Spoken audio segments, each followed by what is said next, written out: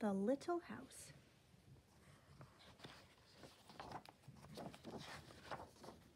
Once upon a time, there was a little house way out in the country. She was a pretty little house, and she was strong and well built. The man who built her so well said, This little house shall never be sold for gold or silver, and she will live to see our great great grandchildren's great great grandchildren living in her. The little house was very happy as she sat on the hill and watched the countryside around her. She watched the sun rise in the morning and she watched the sun set in the evening. Day followed day, each one a little different from the one before, but the little house stayed just the same.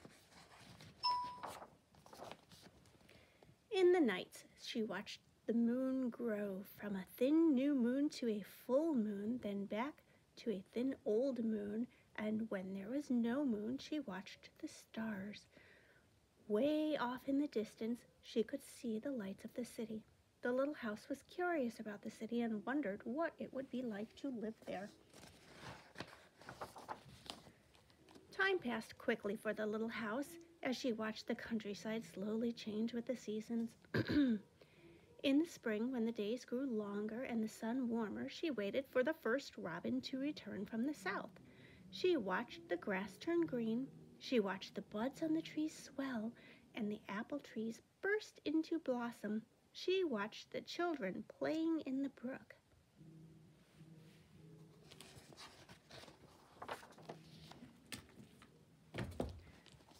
In the long summer days, she sat in the sun and watched the trees cover themselves with leaves and the white daisies cover the hill. She watched the gardens grow. She watched the apples turn red and ripen. She watched the children swimming in the pool.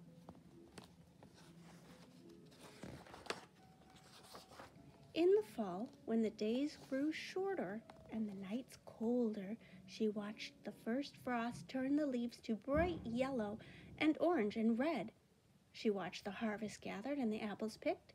She watched the children going back to school. In the winter, when the nights were long and the days short, and the countryside was covered with snow, she watched the children coasting and skating. Year followed year, the apple trees grew old and new ones were planted. The children grew up and went away to the city, and now at night the lights of the city seemed brighter and closer. One day, the little house was surprised to see a horseless carriage coming down a winding country road. Pretty soon there were more of them on the road and fewer carriages pulled by horses. Pretty soon along came some surveyors and surveyed a line in front of the little house.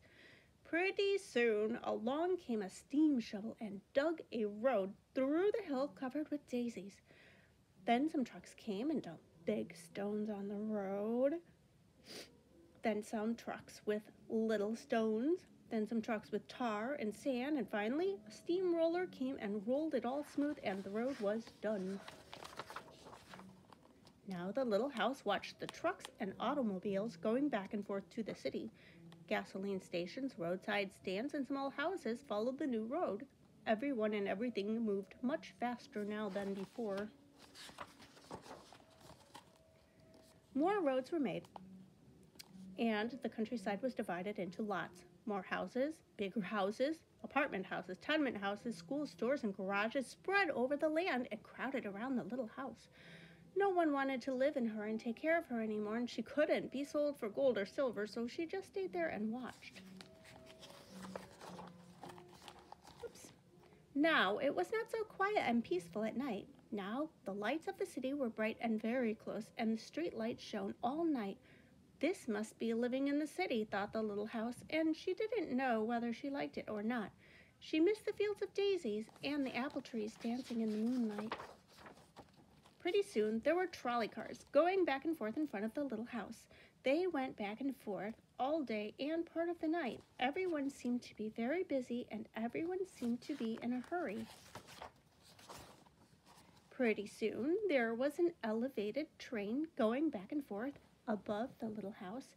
The air was filled with dust and smoke, and the noise was so loud that it shook the little house. Now she couldn't tell when spring came, or summer, or fall, or winter. It all seemed about the same.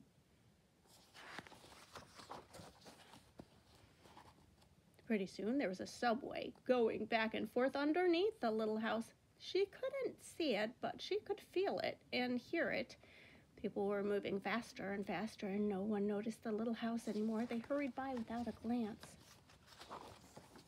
Pretty soon, they tore down the apartment houses and tenement houses around the little house and started digging big cellars, cellars, a basement below the ground. Uh, one on each side. The steam shovels dug down three stories on one side and four stories on the other side. Pretty soon, they started building up. They built up 25 stories on one side and 35 stories on the other side. Now the little house only saw the sun at noon and didn't see the moon or stars at night at all because the lights of the city were too bright. She didn't like living in the city. At night she used to dream of the country and the fields of daisies and the apple trees dancing in the moonlight. The little house was very sad and lonely. Her paint was cracked and dirty, her windows were broken, and her shutters hung crookedly. She looked shabby, though she was just as good a house as ever underneath. Then one fine morning in spring, along came the great great granddaughter of the man who built the little house so well. She saw the shabby little house and oh, but she didn't hurry by. There was something about the little house that made her stop and look again. She said to her husband, That little house looks just like the little house my grandmother lived in when she was a little girl. Only that little house was way out in the country on a hill covered with daisies and apple trees growing around. They found out it was the very same house, so they went to the movers to see if the little house could be moved. The movers looked the little house all over and said, Sure, this house is as good as ever. She's built so well, we could move her anywhere. So they jacked up the little house and put her on wheels. Traffic was held up for hours as they slowly moved her out of the city. At first, the little house was frightened, but after she got used to it, she rather liked it. They rolled along the big road, road. They rolled along the little roads until they were way out in the country. And when the little house saw the green grass and heard the birds singing, she didn't feel sad anymore. They went along and along, but they couldn't seem to find just the right place. They tried the little house here and they tried her there. Finally, they saw a little hill in the middle of a field and apple trees growing around. There, said the great great granddaughter, that's just the place. Yes, it is, said the little house to herself. A cellar was dug on top of the hill, and slowly they moved the house from the road to the hill. The windows and shutters were fixed, and once again they painted her a lovely shade of pink. As the little house settled down on her new foundation, she smiled happily. Once again, she could watch the sun and the moon and once again she could watch the spring and summer and fall and winter come and go. Once again she was lived in and taken care of. Never again would she be curious about the city, and never again would she want to live there.